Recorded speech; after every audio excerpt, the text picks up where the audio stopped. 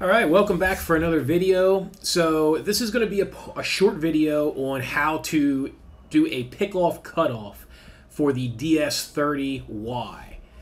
So if you take a look here, um, basically what I've done is I've created all the first operations on the front side of this part, and I'm ready to pick this part off with the sub spindle, pull it, cut it off, and then bring it back, and then I'll be ready to do the second side in the sub spindle.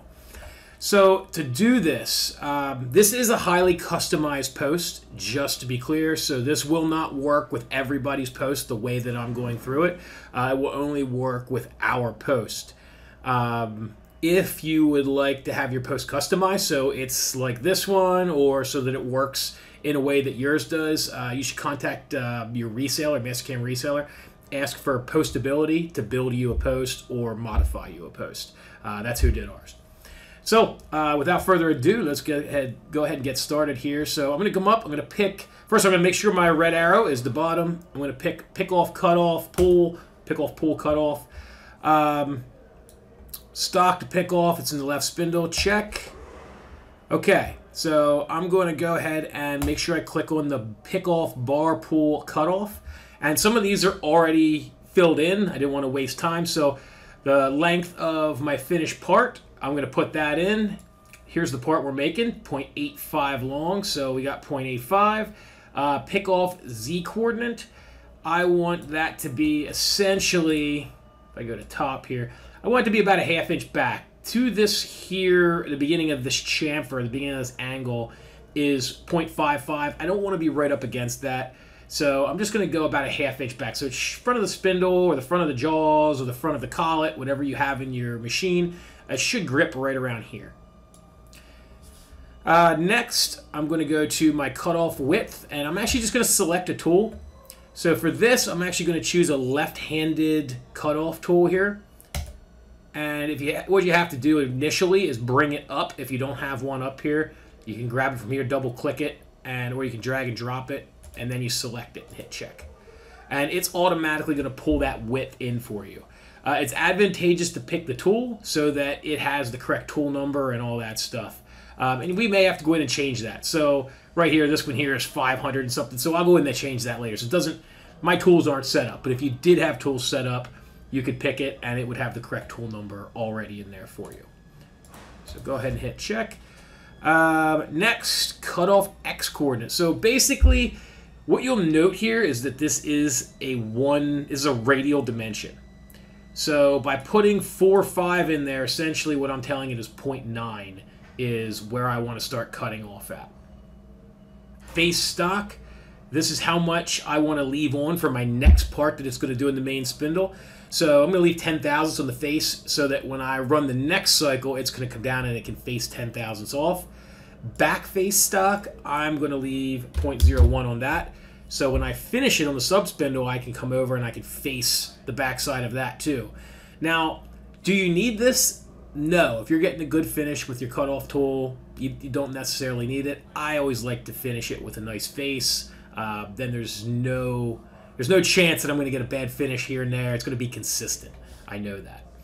Uh, so once you have all this stuff done, then what you're going to want to do is you're going to want to go into operations and you're going to click on each operation. So for this one here, it's pre-positioning our cutoff tool. So again, this is just a radial dimension. So if I say 8, it is going to put the tool at 16 inch diameter.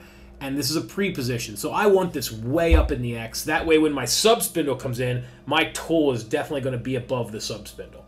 Uh, and then I'm going to pre-position at, I really can pre-position at 0 because I'm going to pull this before I cut it off anyway. So I don't know exactly where that. I haven't calculated where that z position is going to be. But if I put it at zero, it's it's not. It's going to be no more than an inch from from where from zero essentially. So I'm just going to leave it at zero. Um, in fact, really, I know it's going to pull it out an inch, so I'm actually just going to make it positive 1.0. Um, we'll put it there, and uh, we'll go from there. So next, it's the pick off spindle, unclamp, and eject part. Here I have to check my custom parameters, and I have to make sure that I have a 5 or put a spindle speed in for my transfer speed. And I also want to have my chuck dwell for two seconds. That prevents it from not closing in time. So it'll dwell, make sure that it closes, and then it'll do the next operation. So it's super important that we have a two, two, at least a two second dwell in there. Next operation, move to clearance distance. So this is now my sub spindle is going to wrap it in and come to a clearance distance. So I'm just going to make that 0.5. Uh, I don't need anything in here for this. I have this 10 in here, but that doesn't need to be there for this one. Move to grip position. Again, I'm going to go into my custom parameters. And I'm going to make sure that I have 10 for the feed rate. So that way it feeds back at 10 inches a minute. Uh, just basically feeding onto the part with the spindle, the sub spindle open. And then the next operation, we're going to clamp down on it. And this doesn't have to be 10. I can make it 20, whatever I feel comfortable with. But I do want it to be a feed rate. So clamp, and I'm going to go ahead and look at this. Just make sure that I have a 2 in there. So anytime I'm clamping or unclamping the spindle, I'm going to make sure I have a 2 second dwell. Here I got an unclamp. Also, going to make sure I have a 2 second dwell in there. Um, pull stock. Let's take a look at that. So here I have a, a 30. It's it's not it's not actually going to abide by that 30. In fact, I don't even. I'm just going to make it what I had in the other one. Uh, you don't need anything in that one. Uh, spindle stock spindle clamp. So I need to make sure I have my two in there. I do. Cut off part. Here, I'm going to select a tool. I want to make sure I have the right tools. Whoops, wrong one. Uh, cut off operation. Use tool from operation.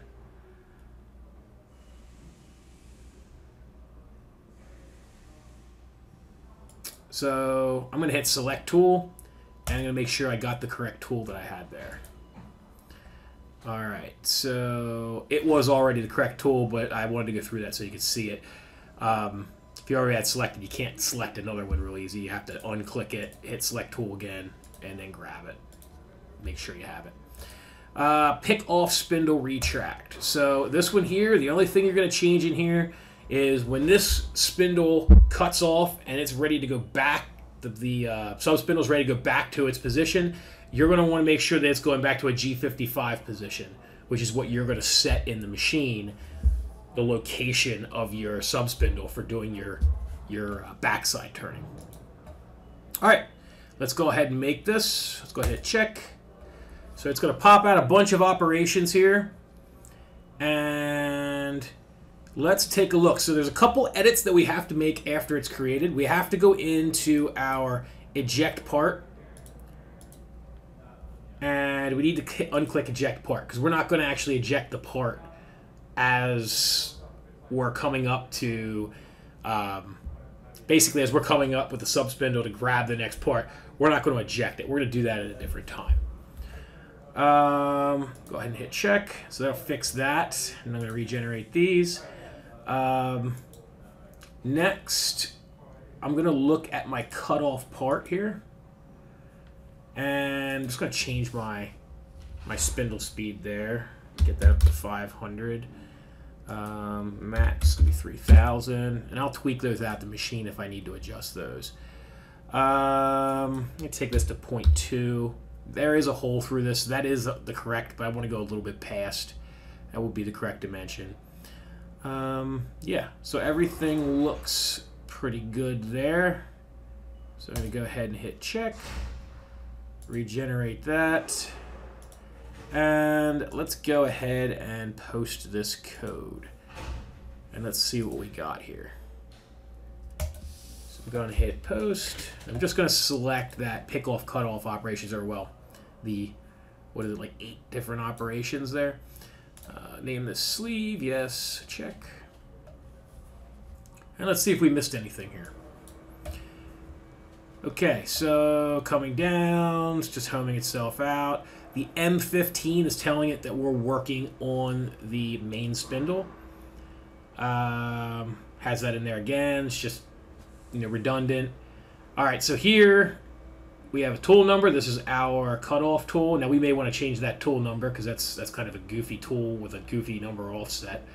Um, M155 is just telling us, hey, uh, you know, you're not act- you're deactivating your uh, live tooling. G54, G18, plane, okay. G0Z 1.125. So that's just pre-positioning. So this is where our pre-position is. Then here it's opening the sub spindle. Here it's dwelling for two seconds. Here it is synchronizing the spindles. So it's synchronizing the sub and main spindle so that they're spinning and they're going to pick off while it's spinning. Obviously, they have to be if we're going to cut it off. Um, the other adv- the other thing that's advantageous to this is that when they're spinning, it's throwing any chips that are in there out. Hopefully, any chips that are in the jaws, hopefully it'll get them out if you don't have an air blast, and and we don't have an air blast. So we got synchronized. Uh, we're dwelling to make sure that gets up to speed. Then we're going G54 and we're pre-positioning to our 0.5 with the sub spindle. Sub spindles come up to half inch in front of the part. Uh, we're changing a G98 feed per inch. We're feeding back to negative 0.5 at 20 inches a minute, like we specified. We're closing the second, closing the sub spindle, dwelling for two seconds to make sure it's closed, opening the main spindle, dwelling for two seconds to make sure that it's open. Then we are pulling the stock to positive 0.495. So if you think about that, we have a we have an 850 thousandths part. So we're going to pull it at least 850. Okay. Um, so the difference between this negative 0.5 and this should be 850 plus our cutoff tool 125, which would give us um, 0.975 plus 10 for our face on the main spindle part, 10 for our back face on the sub spindle part. So that would give us 0.495. So it would give us basically 995 would be our total pull length. And negative 5 plus this, that's that's how much is pulling. So it's accurate. We're right. That's the right position. So once we've pulled it, we're going to go ahead and close the main spindle and we're going to dwell for two seconds. Uh, so once we dwell, we're going to dwell so that it closes.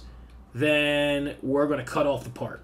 Okay, so we got a G54, uh, G97. Okay, so here's an error. Uh, no, no, I'm sorry.